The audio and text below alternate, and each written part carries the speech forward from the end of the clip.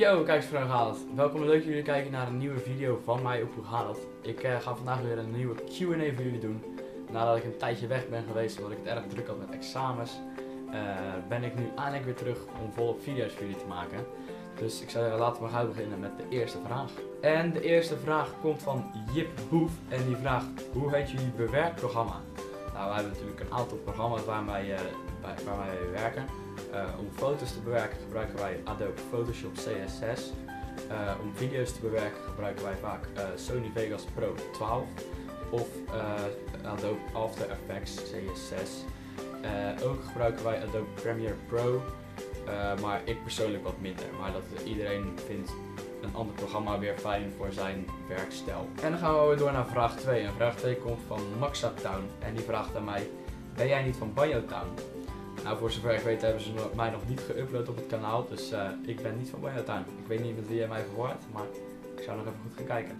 En de volgende vraag komt van Pyro TV en die vraagt: Maak anders een soort intro, maar nog altijd basic in uh, After Effects CS6. Nou, wij hebben, uh, Rino heeft al een keertje een basis intro van After Effects geüpload. Die kan je hier bekijken.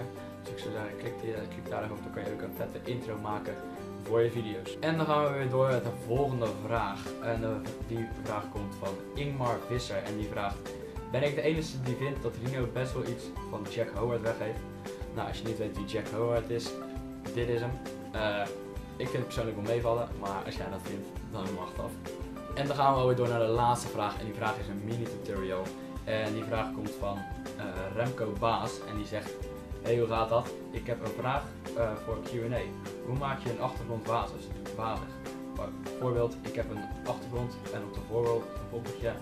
Hoe hou ik het poppetje goed zichtbaar en de achtergrond wazig? Als jullie deze vraag beantwoorden, dan zou het top zijn. Nou, ik ga hem nu even voor jullie beantwoorden, dus volg mij maar. Oké, en uh, deze vraag ga ik beantwoorden in Photoshop. Dus ik heb hier even een, een plaatje gepakt van onze grote vriendin Miley Cyrus, alleen nog in de oude versie ervan. Uh, daar gaan we vandaag in werken. Uh, je pakt eerst de pen toe en daarmee ga je Miley helemaal uitknippen. Ik ga het nu even een beetje vlug doen niet, en niet heel erg nauwkeurig. Want anders duurt het ook allemaal weer zo lang voor jullie. Maar het is in ieder geval de bedoeling dat je met de pen toe langs de lijnen van het lichaam en het haar gaat.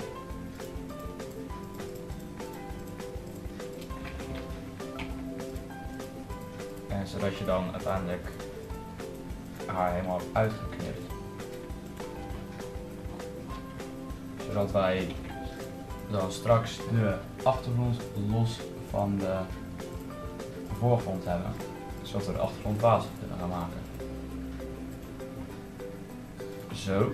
Ik heb nu uh, Miley helemaal uitgeknipt en we gaan nu een selectie maken. Dat doen we door op rechtermuisknop en dan make selection te klikken. En ik denk dat we de radius, de feature radius ietsjes omhoog gaan gooien, omdat anders de randen onwijs scherp zijn. Dus laten zeggen 10. En uh, nu hebben wij Miley geselecteerd, maar we willen eigenlijk de achtergrond geselecteerd hebben. Dus selecteren wij de Magic Wand tool en de qua rechtermuisknop Select Inverse en gaan wij naar Filter. En bij Filter kiezen wij Blur en dan lens blur. En bij lens blur kunnen wij onze achtergrond eh, wazig gaan maken. En hier kan je nog een beetje spelen met uh, de settings, maar ik denk dat die eigenlijk zo wel in één keer goed staat. Dus uh, dan drukken we op OK en dan kan je op Ctrl D drukken om te deselecteren.